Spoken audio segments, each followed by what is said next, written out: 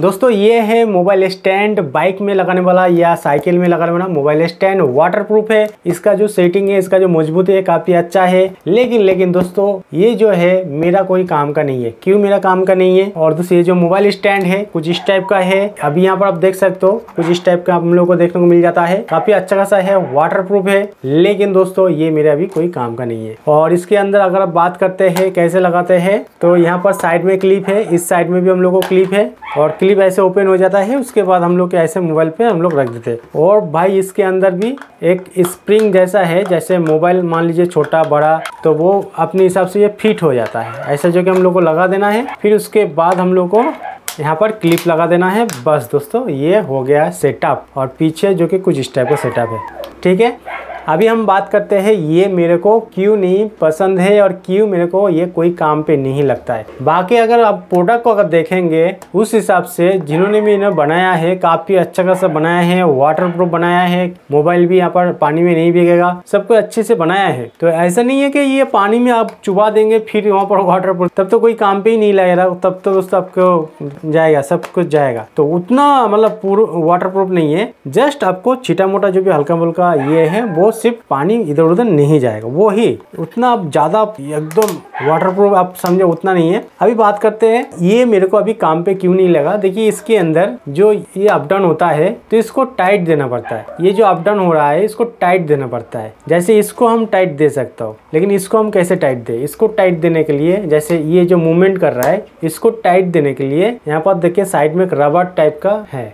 ये जो rubber type का भी ओपन होता है रबर लगा हुआ है और इस साइड में भी हम लोग को एक रबर टाइप का है, ठीक है? यहाँ पर हम लोग को एक छोटा सा जो कि एक रेंज टाइप का है, उस रेंज से जो कि हम लोग को टाइट देना पड़ता है। टाइट देंगे तब जाके ये काफ़ी अच्छी से सेटअप होगा। लेकिन दोस्तों, मेरे पास यहाँ पर जब मैंने इसको ऑर्डर दिया था, इसको लिया था तो यहाँ पर वो रेंज छोटा सा वो रेंज ही वाला ये मेरे पास अभी नहीं दिया गया है। अभी पता नहीं यहाँ पर सेलर ने कोई गलती किया या पैकेज पैकेजिंग करने के लिए या पता नहीं कैसे। वो यहाँ पर नाट वो रेंज टाइप का वो मेरे पास यहाँ पर नहीं आया। तो अगर रेंज से अगर नहीं आया तो हम कैसे टाइट देंगे? और ये जो टाइट देने का जो सीन है ना, ये किसी मतलब ऐसा वैसा कोई भी चीज़ से टाइट नहीं होगा। इसका जो भी माप का जो भी छोटा सा रेंज है, वही रेंज से ही टाइट हम कर पाएँगे। तो गैस वो रेंज यहाँ पर सेटअप में नहीं आया तो इसलिए मैं इसको नहीं रखूँगा, इसको मैं कर दूँगा वापस, ठीक है? और एक प्रॉब्लम है दोस्तों, एक प्रॉब्लम नहीं है, और एक प्रॉब्लम है। अभी इसका जो आप ये देख सकते हो, जो हैंडल टाइप का है, इसका जो गोल है राउंड है, ठीक है? ये जो राउंड है ना, अपना जो बाइक है, वो बाइक में यहाँ पर बहुत ही मतलब ये जो राउंड है, बहुत ही ज़्यादा है। यहाँ पर राउंड है, बहुत ही ज़्यादा है। अपना जो बाइक का हैंडल है, काफ़ी सोरू सोरू टाइप का है, इतना मोटा नहीं है, ठीक है? तो उस हिसाब से मेरा जो हैंडल है, सोरू है, इसलिए यहाँ पर जो कि ढीला हो रहा है। और इसके साथ दोस्तों और एक चीज़ है, यहाँ पर पैकेजिंग में और एक प्रॉब्लम यहाँ पर मिसिंग किया, शायद मैंने मेरे को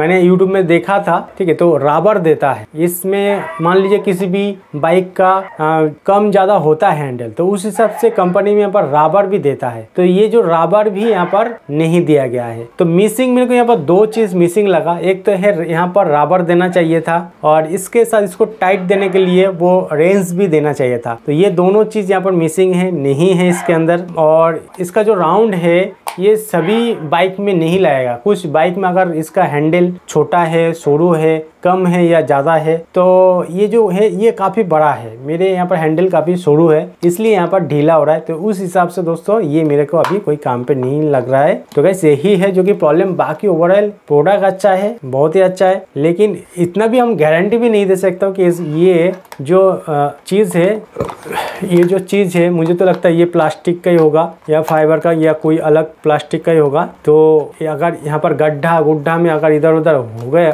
होगा तो ये टूट नहीं जाएगा, इसका तो कोई गारंटी नहीं है। ठीक है, ये हम गारंटी नहीं दे सकता हो। अगर प्रोडक्ट गारंटी दे सकता है तो वो प्रोडक्ट में देख लेना वेबसाइट में जाके। लेकिन मुझे लगता है ऐसा कि ये ज़्यादा मजबूती मेरे को देखने को नहीं लगता है। ये ज़्यादा मजबूती मेरे को लगता नहीं है। ठीक है, ये टूट सकता है, क्योंकि प्लास्टिक का है ना तो कहीं भी कुछ भी हो सकता है। ठीक है, बाकी दोस्तों प्रोडक्ट अगर आपको चाहिए, फिर भी मैं आपको दे दूँगा। आप चाहे तो डिस्क्रिप्शन में चेक कर सकते हो। लेकिन अगर आपको लगता है कि ये अच्छा है तो आप ले सकते हो। बाकी दोस्तों, ये मेरे मोटरसाइकिल के हैंडल पे ही नहीं लग रहा है तो उसको मैं कैसे लूँगा? ओके दोस्तों, यही था कुछ वीडियो प्रोडक्ट तो मेरे को अच्छा लगा। अगर ये हैंडल में लग जाता, उसका रेंज अगर वो दे देता तो एक बार मैं यहाँ पर लगा के देखता और मोटरसाइकिल चला के भी देखता गड्ढा से भी चला के देखता। अगर ओवर ये अगर अच्छा है, नहीं टूटता तो मैं इसको रख देता। लेकिन इसको मैं टेस्टिंग ही नहीं कर पाया। तो आपको भी मैं कैसे बताऊँगा कि ये अच्छा है, एकदम मजबूती है? वो कैसे बताऊँ? टेस्टिंग ही तो नहीं कर पाया, ठीक है? तो कैसे यही था कुछ वीडियो जो कि और यही था कुछ प्रोडक्ट अभी तो इसको रिटर्न करूँगा, और क्या है? लेकिन